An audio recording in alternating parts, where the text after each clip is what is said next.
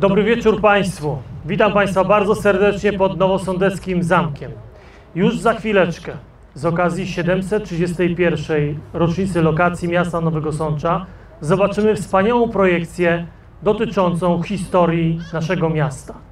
To wspaniałe widowisko, światło i dźwięk. Mam nadzieję, że Państwu przypadnie do gustu. Miłych chwil. Dziękuję bardzo.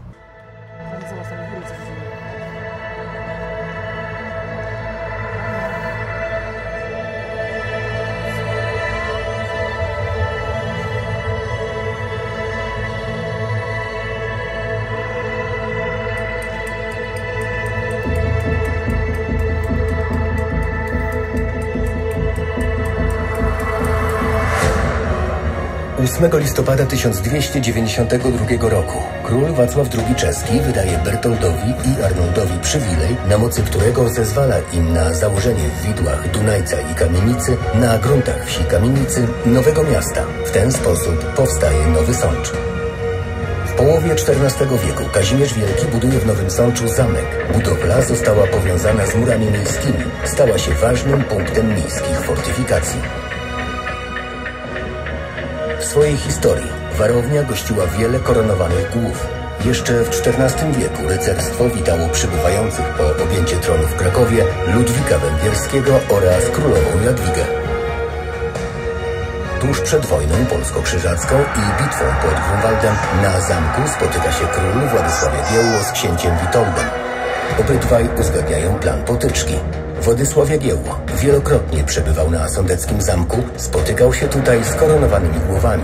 Król miał także powiększyć budowlę.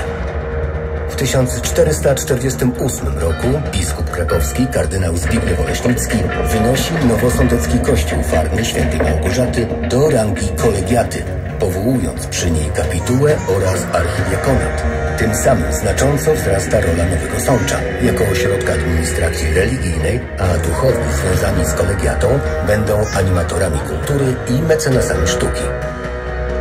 Nowy Sącz przeżywa pod panowaniem Jagiellonów prawdziwy rozkwit. W latach 1469-1470 na tutejszym królewskim zamku synowie króla Kazimierza Jagiellończyka pobierają nauki u samego Jana Długosza. Wówczas w mieście przebywali m.in. późniejsi monarchowie Jan Olbracht i Aleksander Jagiellończyk oraz przyszły święty Kazimierz. XVI-wiecznym Sączem związany był Michał Sędziwój, znany polski alchemik szukający sposobu wymiany metalu na złoto. Urodził się w 1566 roku w Łukowicy, w szlacheckiej rodzinie herbu Ostoja. Zanim stał się rozpoznawalny, pobierał nauki w Nowym Sączu. Od momentu swojej śmierci w 1636 roku nocami ma się pojawiać na rynku sądeckim, gdzie rozrzuca złote monety. Niestety, znikają one wraz ze wschodem słońca. Dla znalazcy jednak wróżą pomyślność i bogactwo. XVII wiek rozpoczął stopniowy upadek stolicy Sądeczczyzny. W tym czasie przez miasto przetoczyły się epidemie, trawiły je pożary, rujnowały powodzie. Ponadto Nowego Sącza nie ominęły wojny. Szczególnie dotkliwie mieszczanie odczuwali potop szwedzki, podczas którego okupanci bardzo złupili miasto, okradając na przykład kolegiatę. Bohaterką tych dni stała się piękna Basia, która rozkochała w sobie szwedzkiego żołnierza, dzięki któremu zdobyła plany drogiej armii. Dzięki temu Nowy Sącz był wolny już 13 grudnia 1655 roku, jako pierwsze miasto Rzeczpospolitej. W 1683 roku po Wiktorii Wiedeńskiej do Nowego Sącza zawitał król Jan III Sobieski. Do miasta przybył wraz z żoną Marysieńką, oswobodziciela Europy. Witały tłumy mieszkań. Było to jedno z ostatnich, najwspanialszych wydarzeń w czasach Rzeczpospolitej Szlacheckiej w Nowym Sączu.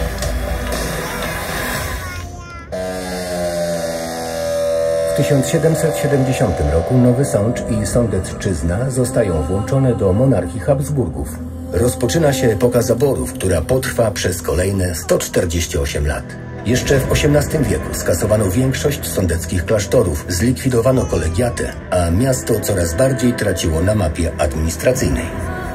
W 1818 roku zostaje założone pierwsze gimnazjum, obecnie pierwsze liceum ogólnokształcące. Szkoła, kształcąc na wysokim poziomie, staje się lokalną kuźnią inteligencji, a poczet jej wybitnych absolwentów jest bardzo długi. W tym roku do Sącza zostaje także sprowadzony 20 Pułk Piechoty. Dzięki wojsku wzmacnia się pozycja miasta, a także następuje powolny wzrost liczby ludności. 1876 roku do miasta doprowadzono linię kolejową. Kilka lat po pojawieniu się pierwszego pociągu w mieście otwarto warsztaty kolejowe, które były największym pracodawcą w regionie do końca okresu międzywojennego. Wprowadzenie kolei do Nowego Sącza wzmocniło pozycję regionu oraz pozwoliło uniknąć wykluczenia komunikacyjnego i cywilizacyjnego Nowego Sącza. Był to jeden z najważniejszych kroków milowych w dziejach całej Sądecczyzny. W 1894 roku wybuchł wielki pożar miasta, w trakcie którego spłonęło centrum miasta, m.in. stary ratusz, a wraz z nim bezcenne dokumenty. Wskutek ran odniesionych w trakcie akcji ratowniczej umiera również burmistrz miasta Karol Slawik. W kolejnych latach miasto powoli się odbudowuje, a symbolem przemian jest powstanie nowego ratusza w 1897 roku, który do dziś króluje na sądeckim rynku. W 1900 roku rozpoczyna się czas rządów burmistrza Władysława Barbackiego, okres największych przemian cywilizacyjnych. Do 1914 roku w mieście pojawia się elektrownia i prąd, kanalizacja i wodociągi. Powiększa się sieć linii telefonicznej. Powstaje wiele budynków użyteczności publicznej, na przykład szpital.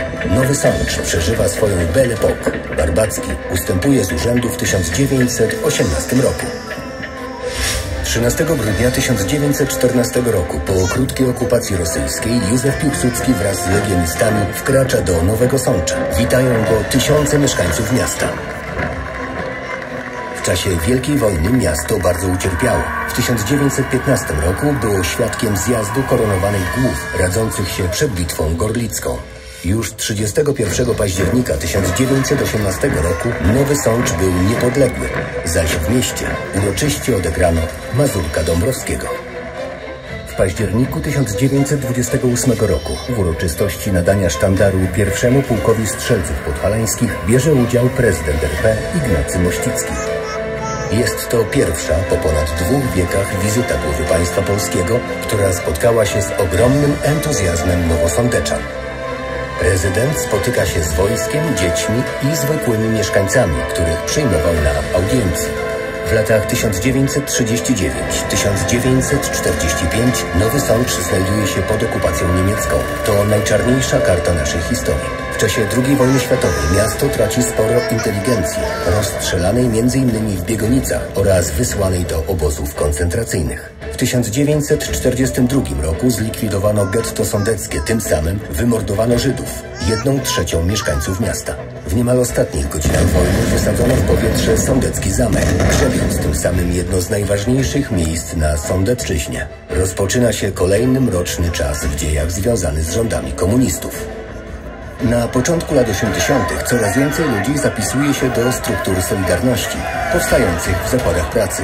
Od 9 do 11 stycznia 1981 roku trwa strajk okupacyjny ratusza, wskutek czego opozycjonistom udaje się uzyskać pewne ustępstwa władzy. 13 grudnia 1981 roku na sądeckie ulice wyjeżdża milicja i wojsko. Rozpoczyna się stan wojenny. Po jego zakończeniu sądeczanie nie ustępują walce z komunizmem, prowadząc nas do wolnej i suwerennej III Rzeczpospolitej.